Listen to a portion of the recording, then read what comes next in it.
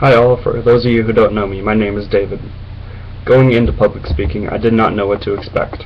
I imagined standing up in front of a huge lecture hall with a microphone and hundreds of eyes upon me. This was not how it was. That was a totally exaggerated view of what this class actually is. COM 1300 public speaking is a unique experience. The professor was awesome and helped everyone with whatever they needed, and also really made it a welcome and relaxed environment to make everyone comfortable with each other. Really did make the difference to have a relaxed environment to have speeches, rather than most other courses. I now feel like I have the skills and the knowledge for many other aspects, not just making speeches. It will increase your confidence for speaking, not just for speeches, but for interviews, talking to your boss, or any other interaction that most people struggle with. With each speech, there is a great deal of pressure to do well.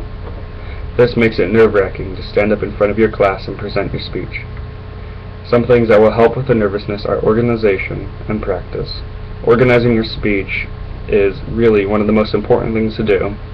You organize it so that it makes sense and it's easy to read.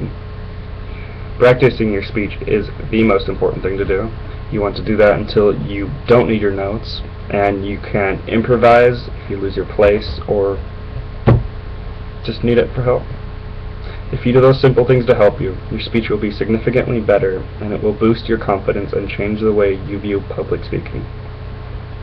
Besides the nervousness that each speech brings, you will learn to control it and use it to your advantage, which also is a huge help if you are nervous about taking this class.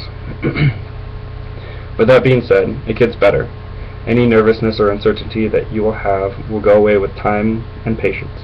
And in the meantime, enjoy one, your time in one of the best courses offered at CU.